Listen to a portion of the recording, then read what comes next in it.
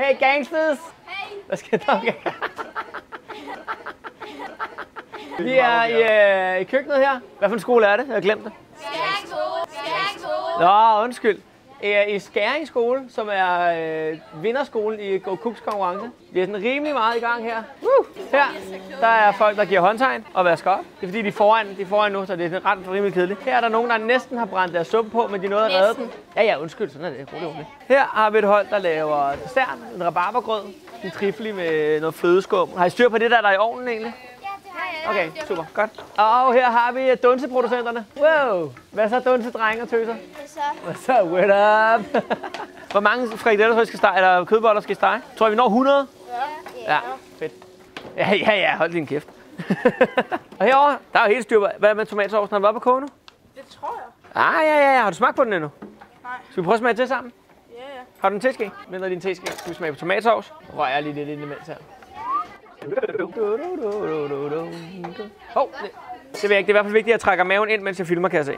Det vil jeg ikke. Det er i hvert fald vigtigt, at jeg trækker maven ind, mens jeg filmer, kan jeg se. Og der var sådan, der var sådan en tyk mave derinde. Hey! Farvel. Hey! Jeg mangler lige nogle teskærer. Jeg mangler lige nogle teskærer, så bliver der smagt til lige om to sekunder. Skal du have et stykke chili?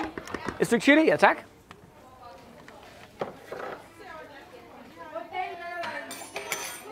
Right. Jeg håber ikke, de får stærkt de der chilier der. Går det fint? Lækkert. Nå, nu smager jeg altså med den her. Woo, det var varmt. Åh, oh, fedt. Prøv lige at sætte smag. Det smager mega godt. No double dipping. Er du glad? Ja. Jeg synes ikke, der skal mere løg. Så synes jeg faktisk, det passer meget godt. Måske en øh, teske salt, rimelig godt med peber. Og så når den er kølet lidt af, så tager du de der to, hakker groft, og så blender vi dem ned i. Så er den done. Okay. Og måske lidt olivenolie også, vi blender ned i. Er det cool? Ja. Jeg synes du ikke selv, det smager godt? Jo. Jeg synes, det hammerende godt. Fedt. Det var tomatsauce. Og så har vi øh, det andet pizzahold herovre. Der er vi. Hey guys. Hallo. Hvad er det, I skal lave? Vi skal lave den her hvide pizza. Skal der chili på jeres pizza? Ja. Det, det er det ved siden af. Nå, for det er ikke i opskriften, vel? Ah. Skal lige prøve at tjekke det ud her. Det er for nice. Der er et bjerg af bacon lige der. Woo! Everybody loves bacon. Og, og, og, og. Her har vi pizzaerne. Klar. Woo! Det er perfekt det der. Sådan skal de alle sammen se ud. Her. Uh. Hvad med den her? Den er ikke så hård. Øjeblik, vi skal lige se her. Der kommer sådan en helt speciel crumble til, øh, til desserten her. Brød med sådan en masser af smør, og så, hvad hedder det, masser af smør og sukker. Mm, mm, mm, mm, mm, mm, mm. Ja, tak. Nu går der mok. Ja, ja tak. Undskyld. Jeg skal også have masseret fødder på et tidspunkt, og jeg har virkelig sure tær, så jeg kan godt glæde jer. Okay, der er... Øh... Nå, øjeblik. Uh. Skal du smage på Ja, den nu? det kommer jeg skal lige runde det her af, åbenbart. Det er Skæring Skole, 6.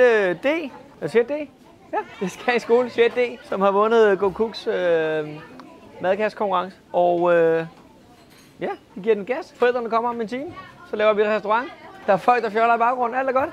Det har været ret vildt. Vi er faktisk nærmest færdige en time før tid med det meste, så det er sådan rimelig tjekket det her. Men øh, jeg går lige ind og tjekker på borddækning og smager noget mad til, og så serverer vi sgu lige om lidt. Hey.